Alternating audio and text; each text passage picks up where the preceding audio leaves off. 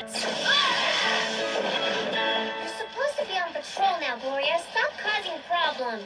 Uh, Y'all come back now, you hear? Ty, it's Kelly.